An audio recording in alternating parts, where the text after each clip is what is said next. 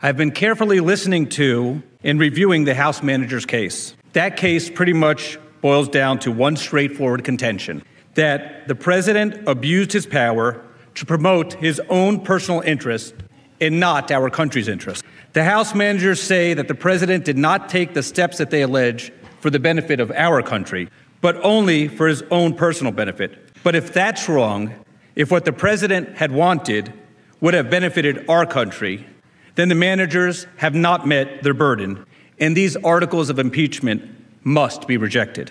As we will see, the House managers do not come close to meeting their burden. Last week, Manager Schiff said that the investigations President Trump supposedly asked President Zelensky about on the July 25th call could not have been in the country's interest because he said they were, quote unquote, discredited entirely. The House managers say that the investigations had been debunked. They were sham investigations. So now we have the question were they really? The House managers, in the over 21 hours of the repetitive presentation, never found the time to support those conclusory statements. Is, was it in fact true that any investigation had been debunked? The House managers do not identify for you who supposedly conducted any investigations, who supposedly did the debunking, who discredited it. Where and when were any such investigations conducted? When were the results published? And much more is left unanswered. Attorney General Bondi went through for you some of what we know about Burisma and its millions of dollars in payments to Vice President Biden's son and his son's business partner. There is no question that any rational person would like to understand what happened.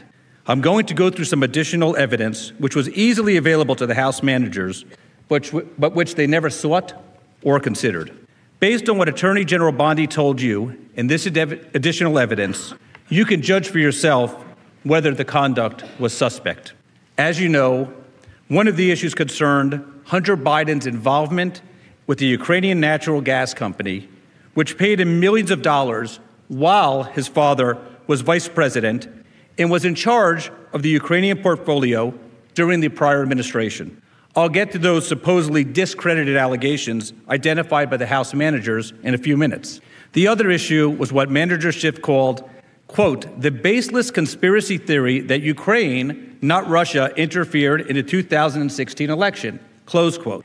Manager Schiff said that President Trump wanted to, quote, erase from history his previous political misconduct, close quote. But there was no previous pol- uh, political misconduct. If any theory has actually been discredited, it's the theory that President Trump colluded with Russia in 2016. It was that theory that was cre- discredited, and discredited entirely by Mr. Mueller's massive investigation, the same investigation the Democrats demanded since President Trump took office, the same investigation they knew, they were absolutely sure would expose such collusion.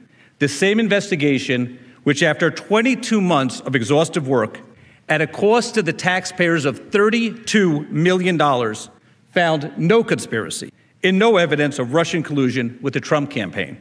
And as we will see, Democrats are as wrong now about the articles of impeachment as they were in 2016 about the Russian collusion.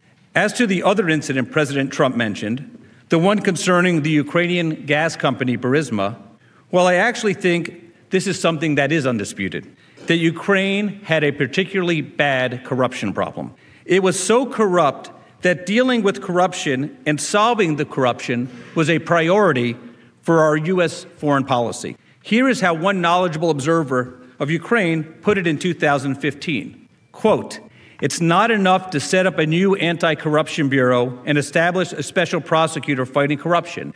The Office of the General Prosecutor desperately needs reform. The judiciary should be overhauled. The energy sector needs to be competitive, ruled by market principles, not sweetheart deals.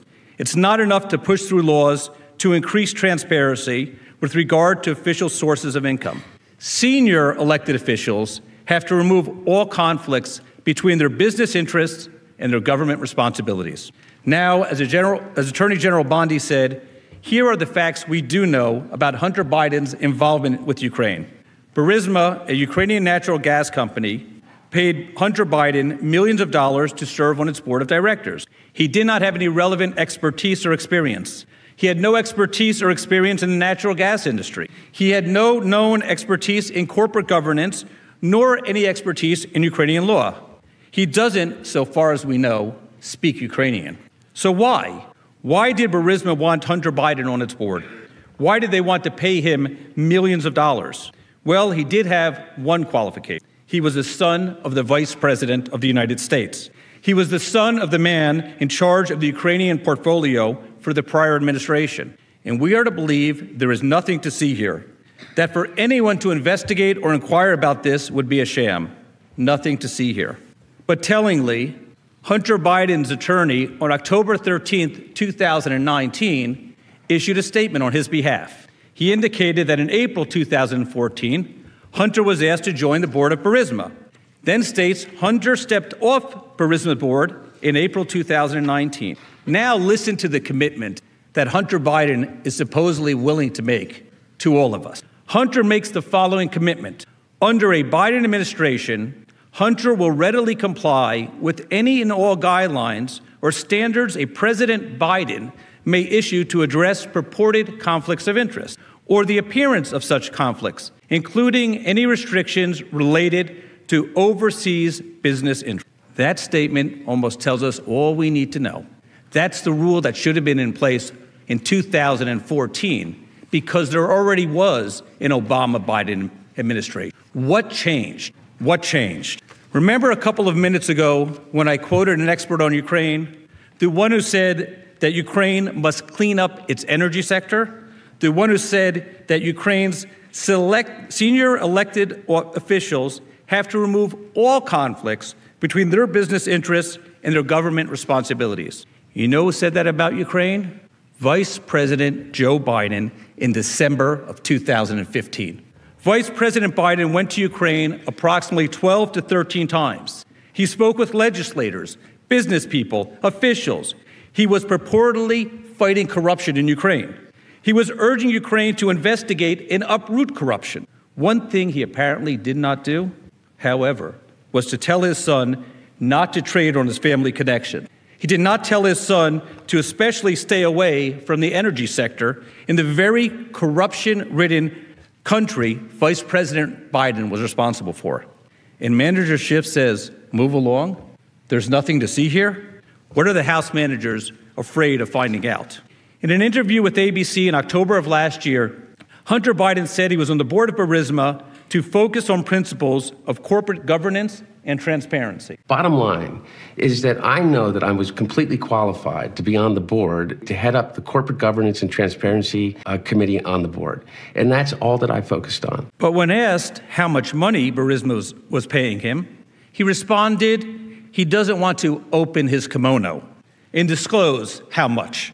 He does refer to public reports about how much he was being paid, but as we now know, he was being paid far more than what was in the public record.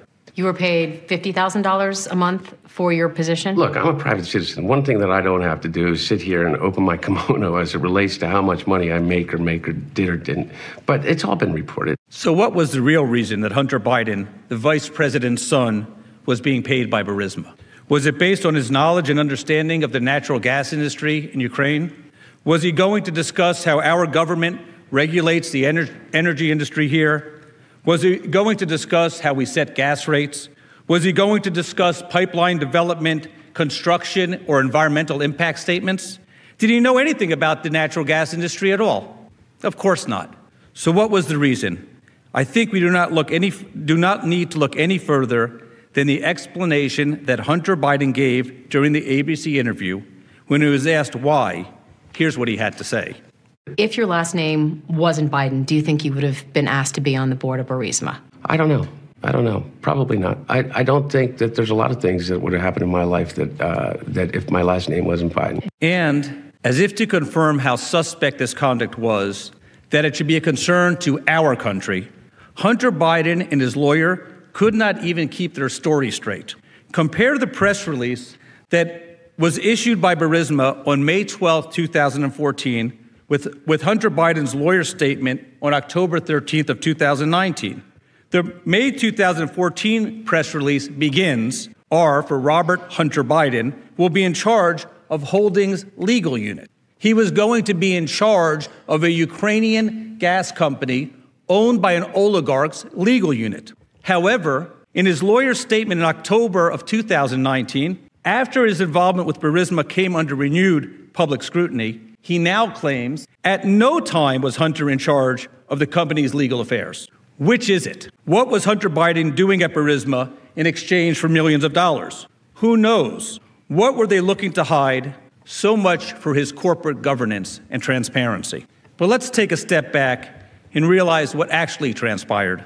Because the House managers would have us believe this had nothing at all to do with our government, nothing at all to do with our country's interests, nothing at all to do with our vice president, nothing at all to do with the State Department. It simply was private citizen Hunter Biden doing his own private business. It was purely coincidental that it was in his father's portfolio in Ukraine in the exact sector, the energy sector, that his father said was corrupt. But we have a document here again, something that House, manager, House managers did not show you or even put before the House before voting these baseless articles of impeachment. If you look at this email, it's an email from Chris Heinz, and as Attorney Bondi already told you, he is the stepson of the then Secretary of State, John Kerry, and who was the other business partner with Hunter Biden and Devon Archer. Our Secretary of State's stepson and our Vice President's son are in business together. It was sent on May 13th, 2014, to the official government email addresses of two senior people at the State Department. And who are these two people? the chief of staff to the Secretary of State, and the special advisor to the Secretary of State.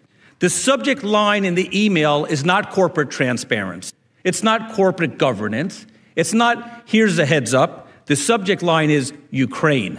Chris Heinz certainly understood the sensitivity to our U.S. foreign policy. And what does the Secretary of State's steps, stepson say about Hunter Biden and Devon Archer? He says this Apparently, Devon and Hunter both joined the board of Burisma, and a press release went out today. I can't speak to why they decided to, but there was no investment by our firm in the company. What is the most telling thing about this? It is clear that the chief of staff and the special assistant to the secretary already knew who Devon was because Mr. Heinz did not include his last name. It's just Devon. And they obviously knew who Hunter was because, again, it's Hunter Biden. This is Chris Heinz saying, I can't speak to why they decided to join the board of. He's their business partner. Not that there are good corporate reasons and he's going, they're going there for corporate government.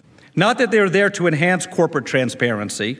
Not that they are there to further U.S. policy. Not that they are there to help fight corruption in Ukraine.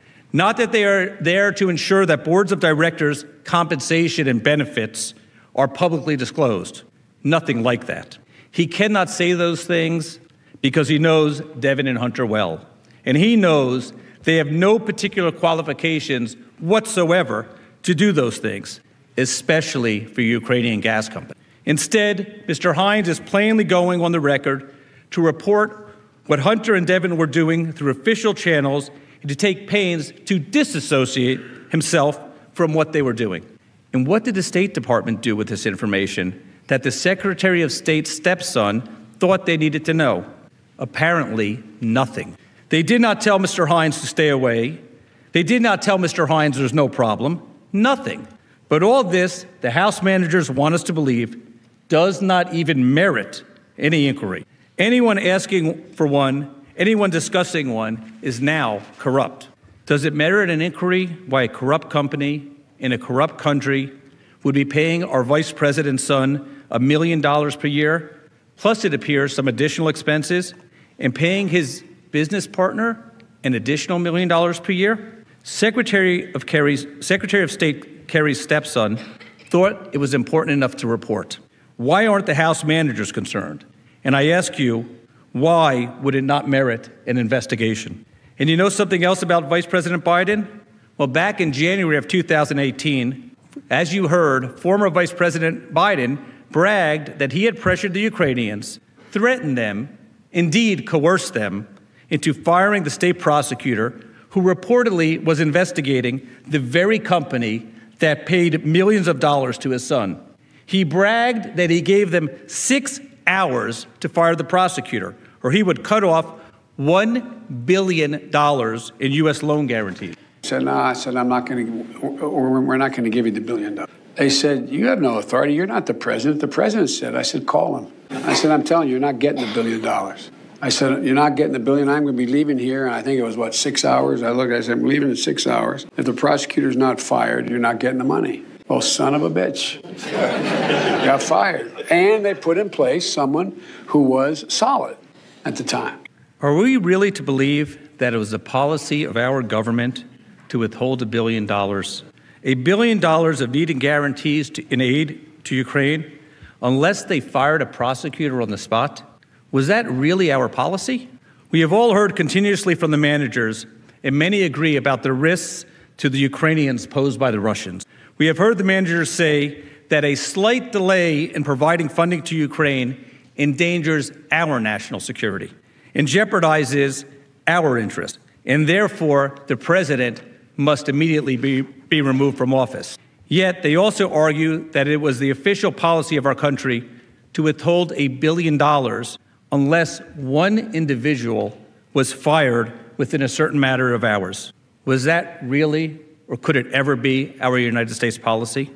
According to the House manager's theory, we were willing to jeopardize Ukrainians unless somebody who happened to be investigating Burisma was promptly fired. Were we going to jeopardize the Ukrainian economy because a prosecutor was not fired in the six hour time period Vice President Biden demanded? Does anyone really believe that was or ever could be our United States foreign policy? And just in case the managers or others try to argue, no, no, no, he wasn't serious about that, he was just bluffing, what kind of message would that send to the Russians about our support for the Ukrainians? That we would bluff and bluff with the Ukrainian economy. From 2014 to 2017, Vice President Biden claimed to be on a crusade against corruption in Ukraine. He repeatedly spoke about how the cancer of corruption was endemic in Ukraine and hobbled Ukraine, how Ukraine faced no more consequential mission than confronting corruption. And he encouraged Ukraine to close the space for corrupt middlemen who rip off the Ukrainian people.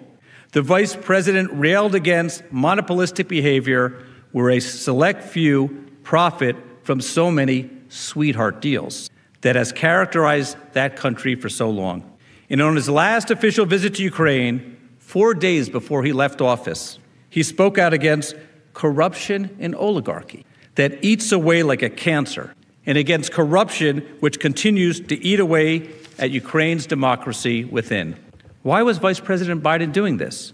Was he so concerned about corruption in Ukraine even singling out that country's energy sector, because corruption in Ukraine is a critical policy concern for our country. But during this whole time, what else was happening? His son and his son's business partner were raking in over a million dollars a year for what was regarded as one of the most corrupt Ukrainian companies in the energy sector, owned and controlled by one of the most corrupt oligarchs. Were Vice President Biden's words and advice to Ukraine just hollow? According to the House managers, the answer apparently is yes. They were empty words, at least when it came to anyone questioning his son's own sweetheart deal, his own son's deal with Ukraine's corruption and oligarchy. Again, to raise Manager Schiff's own question, what kind of message did this send to future U.S. government officials? Your family can accept money from foreign corrupt companies, no problem. You can pay family members of our highest government officials, and no one is allowed to even ask questions what was going on. We have to just accept now the House manager's conclusory statements, like sham, discredited, even though no one has ever investigated. Why? And can you imagine what House Manager Schiff and his fellow Democratic representatives would say if it were President Trump's children on an oligarch's payroll. And when it finally appeared that a true Ukrainian corruption fighter had assumed the country's presidency, President Trump was not supposed to, he was not permitted to, follow up on Vice President Biden's own words about fighting corruption and try to make those words something other than empty. And according to the House managers, Ukrainian corruption is now only a private interest. It no longer is a serious, important concern for our country. Now, I want to take a moment to cover a few additional points about the July 25th telephone call in which the House managers believe that the President in the United States, in their words, was shaking down and pressuring the President of Ukraine to do his personal bidding. First of all, this was not the first telephone call that the President of the United States had with other foreign leaders. So think about this for a moment. The call was routed through the Situation Room. It was a scheduled call. There were other people on the call. There were other people taking notes, and obviously the president was aware of that fact. The House managers talk about the fact that the president did not follow the approved talking point, as if the president, any president, is obligated to follow approved talking points. And the last time I checked, and I think this is clear to the American people, President Trump knows how to speak his mind. But remember the fake transcript that Manager Schiff read when he was before the Intelligence Committee? His mob, gangster like fake rendition of the call? Well, I prosecuted organized crime for years. The type of description of what goes on, what House Manager Schiff tried to create for the American people, is completely detached from reality. It is as if we were supposed to believe that mobsters would invite people they do not know into an organized crime meeting to sit around and take notes to establish the corrupt intent. Manager Schiff, our jobs as prosecutors, and I know you were, were one, would have been a lot e- easier if that were how it worked. Think about what he is saying. Think about the manager's position that our president decided, with corrupt intent, to shake down, in their words, another foreign leader, and he decided to do it in front of everyone in a documented conversation in the presence of people he did not even know, just so he can get this personal benefit and was not, that was not in our country's interest. The logic is flawed. It is completely illogical because that is not what happened. And that is why Manager Schiff ran away from the actual, actual transcript. That is why he created his own fake conversation. But I would like to just address another point from the transcript of the July 25th phone call. The House managers allege that an Oval Office meeting with the president was critical to the newly elected Ukrainian president because it would signal to Russia, which had invaded Ukraine in 2014 and still occupied Ukrainian territory, that Ukraine could, could that, I'm sorry, that Ukraine could count on American support. They actually argue that it was a quid pro quo, that the president withheld this critical Oval Office meeting that would deter the Russians and save the Ukrainians because he wanted something personal. Now, if that was in fact critical to President Zelensky for the safety of his own citizens, he would have immediately jumped at the opportunity to come to the Oval Office, especially when President Trump offered him that invitation during the July 25th call. But let's see what President Zelensky actually says when he's invited to Washington on that call. He does not say, oh, this is what I would like to do. It's critical for my people.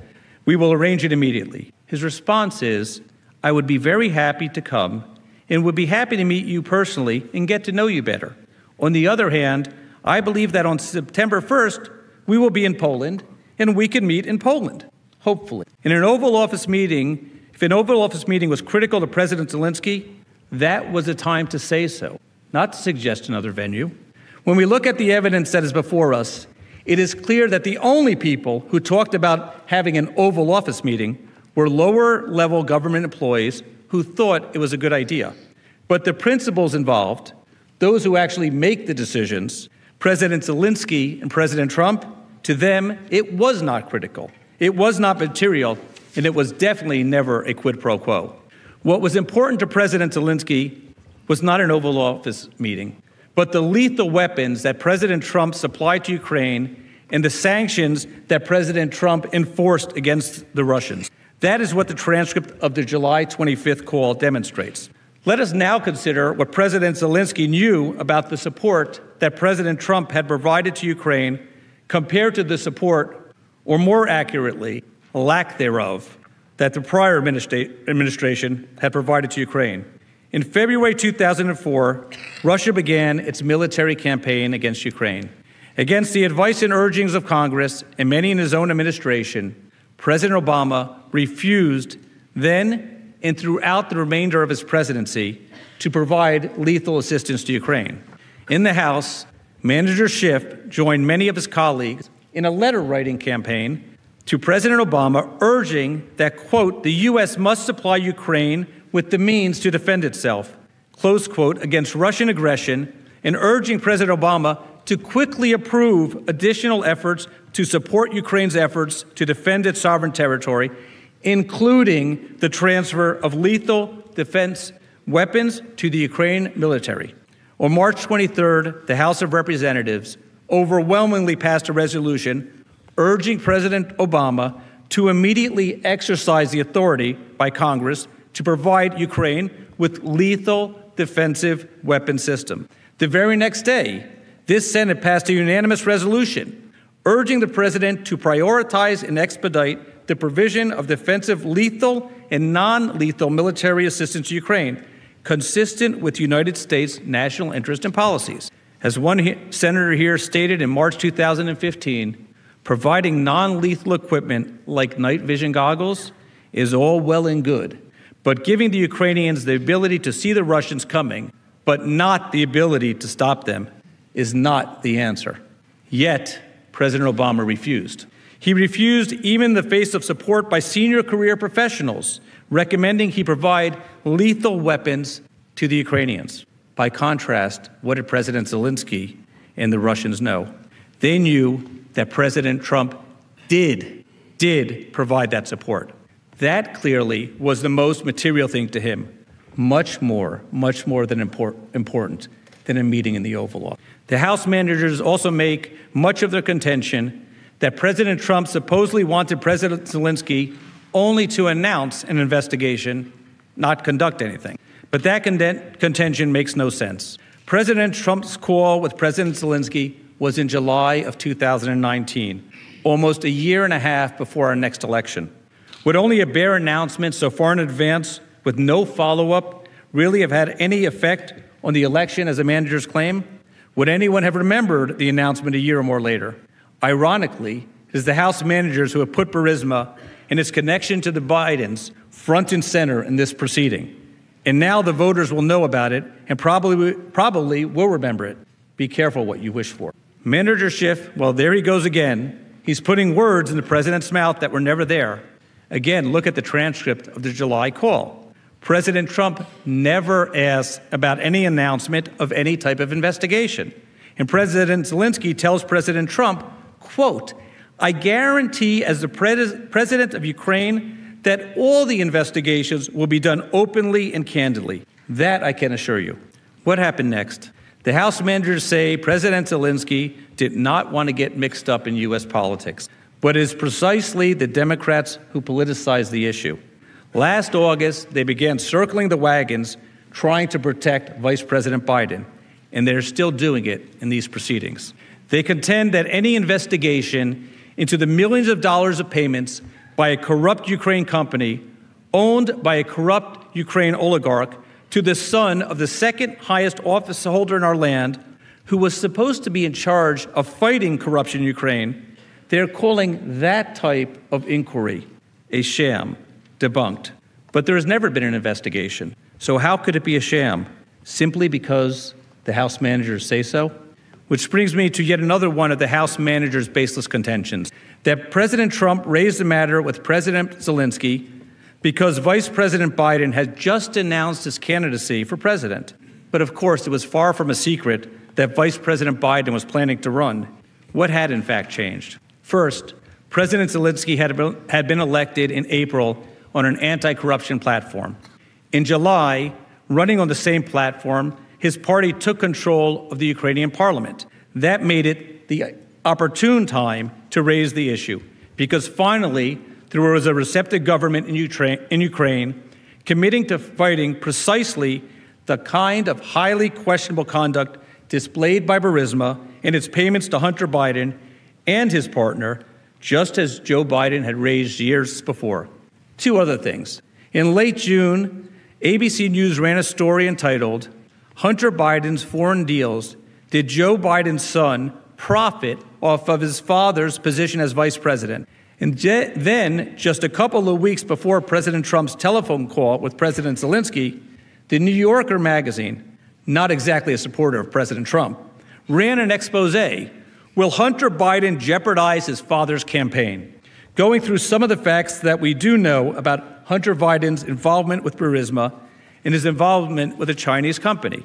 The New York Reporter, again, this was in July, just a couple of weeks before the phone call, said that some of Vice President Biden's advisors were worried that Hunter would expose the vice president to criticism.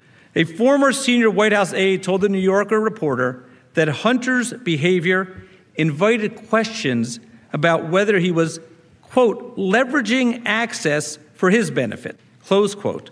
The reporter wrote that when I asked members of Biden's staff whether they did raise their concern with the vice president, several of them said they had been too intimidated to do so.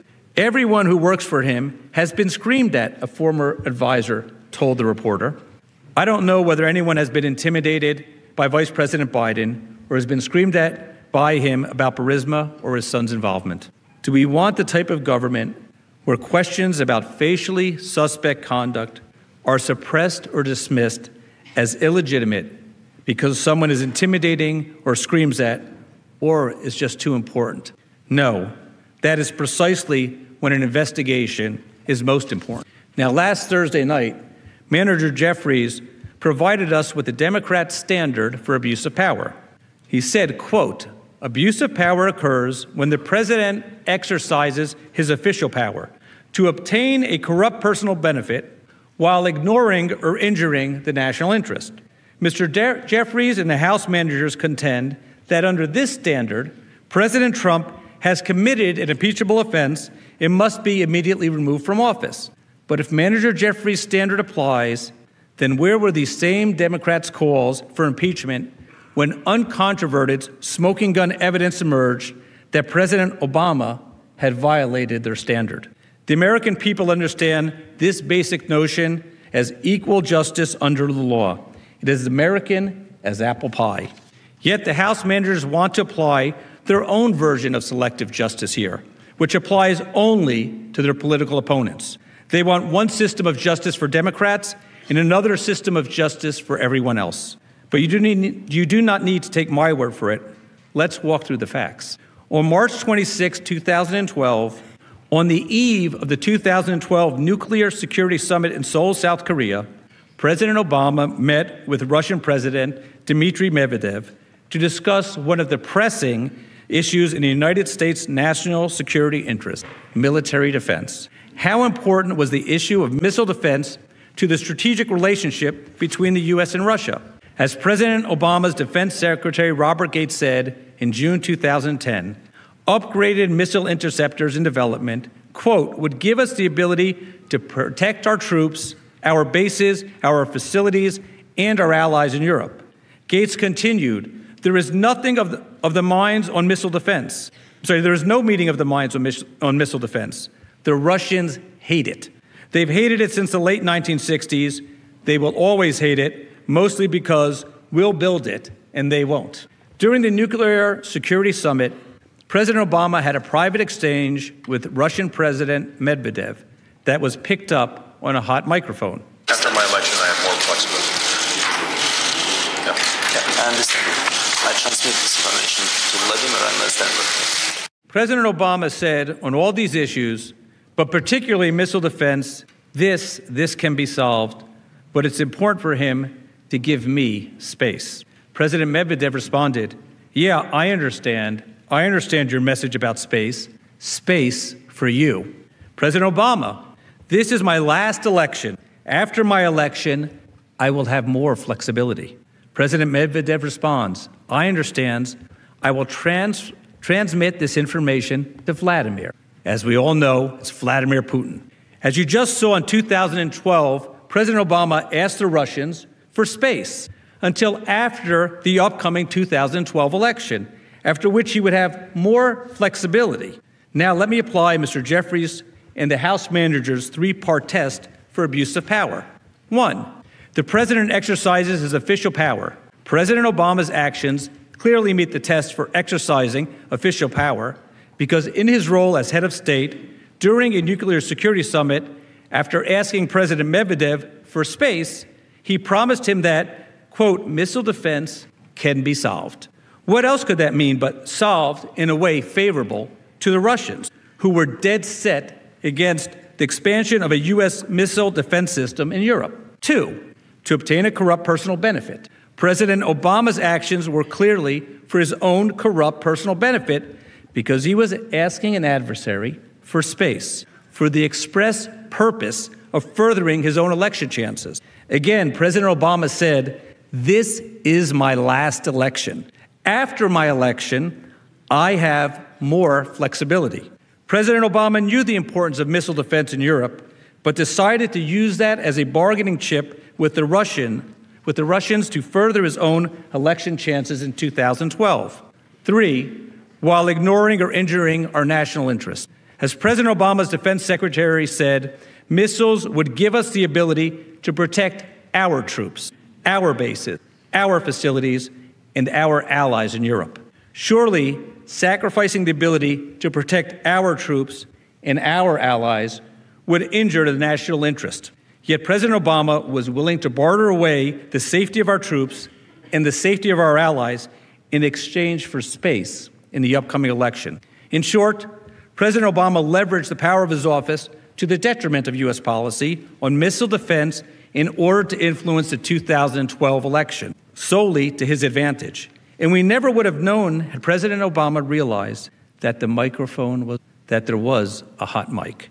One could easily substitute President Obama's 2000 exchange with President Medvedev into Article 1 of the House's impeachment articles against President Trump. Using the powers of his high office, President Obama solicited interference of a foreign government, Russia, in the 2012 United States presidential election. He did, through, he did so through a scheme or course of conduct that included soliciting the government of Russia to give him space, quote unquote, on missile defense that would benefit his reelection and influence the 2012 United States presidential election to his advantage. In doing so, President Obama used the powers of the presidency in a manner that compromised the national security of the uh, United States and undermined the integrity of the United States democratic process. He thus ignored and injured the interests of the nation. Close quote. Does it sound familiar, House managers? It should, as the case against President Obama would have been far stronger than the allegations against President Trump. President Obama's abuse of power to benefit his own political interests was there and is here now for everyone to hear. It was a direct, unquestionable quid pro quo. No mind reading was needed there. Where were the House managers then? And that points out the absurdity of the House manager's case against President Trump. It was President Obama, not President Trump, who was weak on Russia and weak on support to Ukraine. President Obama caved to Russia and Putin on missile defense when he decided to scrap the U.S. plans to install missile bases in Poland. Yet he criticized Senator Romney during the 2012 presidential campaign when Senator Romney said Russia was the greatest geopolitical threat to the U.S. Governor Romney, I'm glad that you recognize that Al Qaeda is a threat. Because a few months ago, when you were asked what's the biggest geopolitical threat facing America, you said Russia. Not Al Qaeda, you said Russia. In the 1980s are now calling to ask for their foreign policy back because you know, the Cold War has been over for 20 years. Now, when it is politically convenient, the Democrats are saying the same thing that President Obama criticized Senator Romney for saying. In fact, they are basing their entire politicized impeachment on this inversion of reality. This claim that President Trump is not supporting Ukraine far more than the prior administration. President Obama caved on missile defense in late 2009. His hot, hot mic moment occurred in March 2012. His reelection was eight months later. Two years later, in March 2014, Russia invaded Ukraine and annexed Crimea. President Trump refused to provide lethal aid to Ukraine to enable it, I'm sorry, President Obama refused to provide lethal aid to Ukraine to enable it to defend itself. Where were the House managers then? The House managers would have the American people believe that there is a threat, an imminent threat to the national security of our country, for which the president must be removed immediately from the highest office in the land. Because what? Because he had a phone call with a foreign leader and discussed corruption, because he paused for a short period of time, giving away our tax dollars to a foreign country. That is their theory. It is absurd on its face. Not one American life was in jeopardy or lost by the short delay, and they know it. And how do we know that they know it? Because they went on vacation after they adopted the Articles of Impeachment. They did not cancel their recess. They did not rush back to deliver the Articles of Impeachment to the Senate because of this supposed terrible, imminent threat to our national security. What did they do? The urgency. The timing is really driven by the urgency. Urgency. Nothing could be more urgent. Uh, the urgency. And urgent. And urgent. There's an urgency, you know, to this. And we must move swiftly. We don't have time to screw around. It's about urgency. House Speaker Nancy Pelosi is still holding on to the articles of impeachment.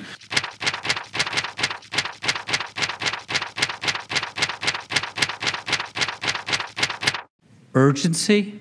Urgency for which you want to immediately remove the President of the United States? You sat on the articles for a month, the longest delay in the history of our country. They adopted them on Friday, December 13th, 2019, Friday the 13th, went on vacation, and finally decided after one of their Democratic presidential debates had finished, and after the BCS football championship game, that it was time to deliver them. What happened to their national security interest argument? Wasn't that the reason that they said they had to rush to vote? It's urgent, they told us. No due process for this president. It is a crisis of monumental proportion. Our national security is at risk every additional day that he's in office, they tell us. The House managers also used the same ex excuse for not issuing subpoenas for testimony. They had no time for the normal judicial review. They even complain about the judicial review process sitting in this chamber before the Chief Justice of the United States Supreme Court. A judicial review in which the judge agreed to an expedited schedule. Even that was not good enough for them when they issued the subpoenas. One of the lawyers for the subpoenaed witnesses wrote to the House General Counsel, quote, "We are dismayed that the House committees have chosen not to join us in seeking resolution from the judicial branch of this momentous constitutional question as expeditiously as possible." He continued, "It is important to get a definitive judgment from the judicial branch, determining their constitutional duty in the face of conflicting demands of the legislative and executive branches. Isn't that the point? Isn't that how our system of government works? Isn't that how it's always worked? Isn't that, that how it's supposed to work? These same Democrats defended other administrations who fought judicial review of congressional subpoenas. And I think we all remember Fast and Furious. The same attorney, when he wrote to the House chairs, said, The House chairman, Mr. Schiff and Mr. Nadler, are mistaken to say the lawsuit is intended to delay or otherwise obstruct the committee's vital investigatory work. He, he continued, nor has this lawsuit been coordinated in any way with the White House, any more than it, it has been coordinated with the House of Representatives. If the House chooses not to pursue through subpoena testimony, let the record be clear that is the House's decision. Yet they come before you and they blame the administration and they blame you if you don't subpoena witnesses and have them before you. Yet, even in the face of this overwhelming evidence, they claim that the president is to blame for their decision to withdraw their own subpoenas or not issue others. Their choice, but the president is responsible. That is one of their claims. It is ludicrous. They are blaming the president because they decided on their own not to seek judicial review and enforcement of their own subpoenas, and for some witnesses, never to even issue subpoenas. In their minds, that is impeachable. Manager Nadler spoke eloquently back before the House Judiciary Committee hearing in December of 1998. He said, quote, there must never be a narrowly voted impeachment or an impeachment substantially supported by one of our major political parties and largely opposed by the other. Such an impeachment would lack legitimacy, would produce divisiveness and bitterness in our politics for years to come. And will call into question the very legitimacy of our political institutions. Manager Nadler was right then, and it is equally true today. Divisiveness and bitterness. Divisiveness and bitterness. Listen to his words. Impeachments by one party cause divisiveness and bitterness in our country. That is what a partisan impeachment leads to. Sadly, while Manager Nadler eloquently warned against divisiveness and bitterness, the House did not follow his admonition. They did not heed his advice. And that is one of the reasons we are sitting here today with articles of impeachment that are not founded in our Constitution or the evidence and are brought simply for partisan politics. This is a sad time for all of us. This is not a time to give out souvenirs. The pens used to sign the articles of impeachment, trying to improperly impeach our country's representative to the world. This is not the time to try to get digs in that the president will always be impeached because we had the majority and we could do it to you and we did it to you.